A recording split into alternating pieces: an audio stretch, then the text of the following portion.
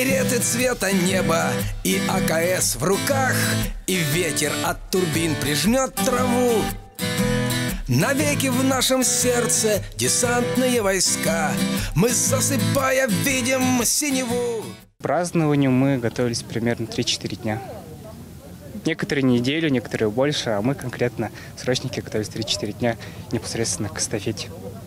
А так, непосредственно, если считать все, всю подготовку воздушно-десантную, то мы с первого дня э, э, призыва готовились к этому, то есть два месяца. Здесь нам предоставляется возможность наблюдать приемы с ножом. Выполняют разведчики парашютно-десантного батальона гвардии Фрейтер Улаханов и гвардии Фрейтер Полянский. Стоп-кран не нужен тем, кто служит в ВДВ. Хороший праздник, тем более 90 лет, годовщина. Мы очень ответственно к этому подошли. И вот Не грустно, что в этом году не будет зрителей? э, на самом деле хотелось бы, конечно, чтобы были зрители, но в связи с пандемией безопасность важнее.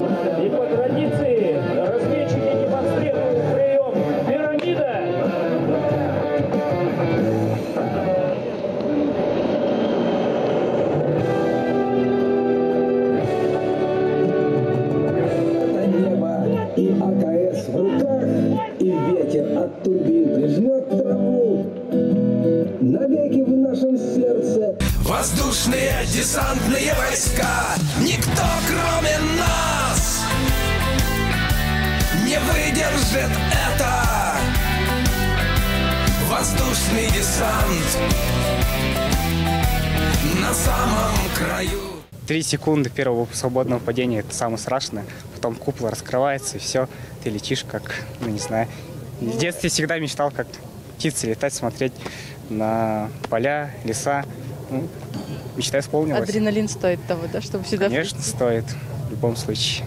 Вот на показательных выступлениях был момент, когда н- на человека положили какой-то бетон, и потом это сломали. Это, муляж или настоящий? Конечно, настоящий. А как так? Вот так вот. Это какую нужно силу иметь, чтобы Люди, разбить его? Орлы у нас.